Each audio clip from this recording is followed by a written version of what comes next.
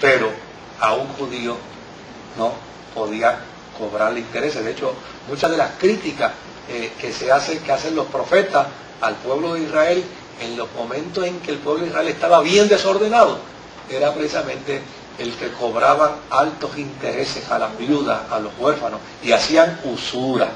Eh, de hecho, este, Jesús mismo condenó la usura eh, del pueblo judío porque tienen la habilidad de prestarle a usted lo que sea, pero, pero se lo van a cobrar. oh, sí.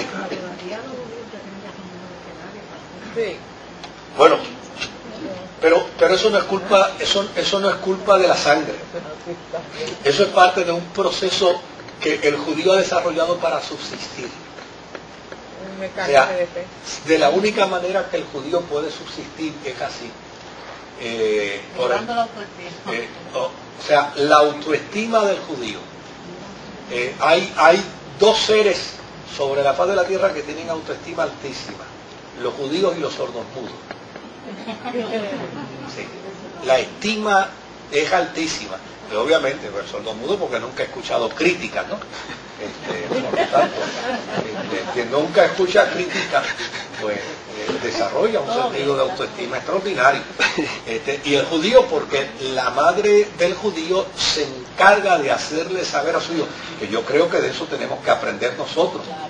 Eh, nosotros tenemos la pésima costumbre eh, de, de, deformar los sueños, las aspiraciones y las metas de nuestros hijos.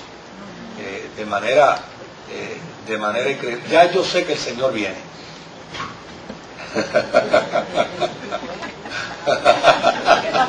Estoy haciendo una maldad joven que acaba de entrar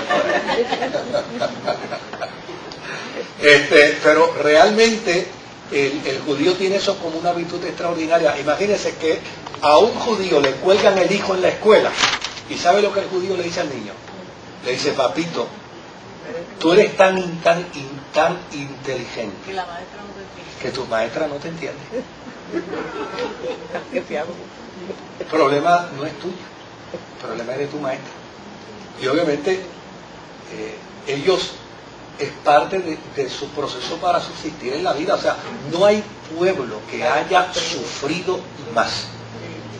No hay pueblo que haya sufrido más que el judío.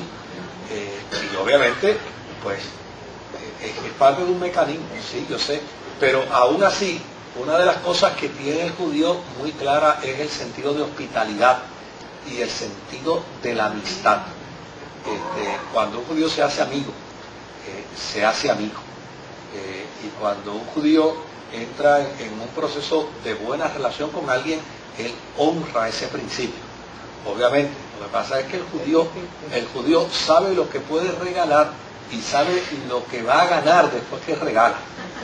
Y eso ellos lo tienen, lo tienen bien claro. Este, eh, no olvidemos que, es parte de su idiosincrasia. Eh, y, en eso, pues, obviamente, eh, hay algunos que no tenemos que ir muy lejos, que también tal vez directa o indirectamente somos así. De hecho, uno de los genes más diseminados sobre la faz de la tierra eh, de los judíos. Eh, muy fácilmente entre nosotros, eh, qué sé yo, unos 100 personas aquí hoy, muy fácilmente entre nosotros puede haber un 35, un 40% que, que tengamos descendencia de judíos aquí en esta reunión. a lo mejor nunca hemos visitado Israel, pero es sorprendente la cantidad. Bueno, en, África, eh, hace unos 10 años atrás, se descubrió una tribu africana eh, judía. Y lo que es extraordinario es que ellos hablan el idioma hebreo y, observan las costumbres cúlticas hebreas.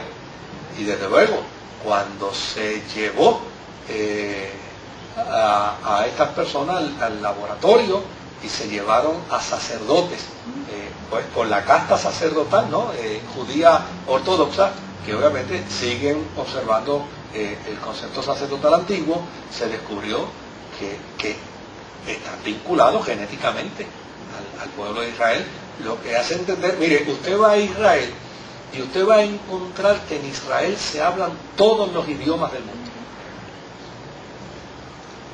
Todos los idiomas del mundo se hablan en Israel. En Israel nadie va eh, y, puede decir, eh, no me entendieron. No, va a haber un judío que lo entienda. La razón es porque se, se diseminaron en la diáspora por todo el mundo, pero como guardaban sus conceptos culturales. De hecho, la razón por la que no se aceptan a los samaritanos después de la invasión asírica es porque dijeron, no, ustedes, ustedes son mestizos, ustedes no son judíos, porque para el judío era importante que la casta eh, se mantuviera íntegra. Y hasta el día de hoy, pues obviamente, claro, ha cambiado en algunos. Por ejemplo, yo eh, estaba en Israel con un amigo judío eh, y me dio Moisés, yo me quiero comer un pedacito de lechón, pero yo no lo puedo pedir. Pídelo para ti y dámelo. pues porque en Israel se come lechón, hay sitios donde se puede comer lechón. Bien gracioso. Eh, imagínense si son geniales. La ley judía dice que el lechón no puede pisar la tierra porque hace inmunda la tierra. Entonces, para no hacerla inmunda la tierra judía, pues obviamente los crían en cosas elevadas. Corrales elevados, ya está, no hay ningún problema. No están violando la ley, eh, la están observando. Y crían en hamaca. Claro, obviamente no se hace fácil a un judío. Eh, es como un pentecostal que vaya a comprarle una cajetilla de cigarrillo a, a un amigo. Nadie lo va a hacer. Este, pues a un judío no se le va a hacer fácil ir a un restaurante en su tierra y decir yo me quiero con un pedacito de lechón. Pero este amigo mío me dio, pídelo tú y me lo das. Pues, como, para mí no es pecado, yo lo pedí y se lo, y di. Ahora bien, volvamos de nuevo. Han oído hablar de Policarpo de Esmirna, ¿no? Policarpo de Esmirna, eh, bueno, hay algo que quería decir. Por ser los judíos, por ser los judíos poderosos, por ser los judíos influyentes, obviamente el cristianismo era enemigo del judío. Por lo tanto, donde quiera hubiera un judío influyente y llegara un cristiano, obviamente, ese judío influyente iba a hacer lo imposible para que en esa tierra le hicieran la vida de cuadritos al cristiano. Y cuando volvamos a leer ahorita, lo vamos a entender perfectamente bien. Por ejemplo, Policarpo de Esmirna, eh, en el 23 de febrero del año 155, estaba en, su casa eh, compartiendo con su gente, eh, había un juego, un juego olímpico, la gente estaba llena de euforia y alguien gritó, matemos a Policarpo. Y obviamente como parte de ese proceso humano eh, de manipulación de masa, de allí salió una muchedumbre desfavorida para la casa de Policarpo a matar.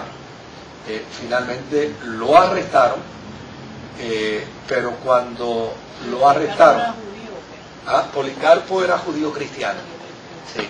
Y se entiende que la razón por la que se le mata es por la influencia de los judíos, los judíos influyentes en Esmirna. Entonces, desde luego, lo que es extraordinario es que cuando, cuando aquella muchedumbre llega para matar a Policarpo, porque la persecución de cristianos muchas veces era solapada, no era una...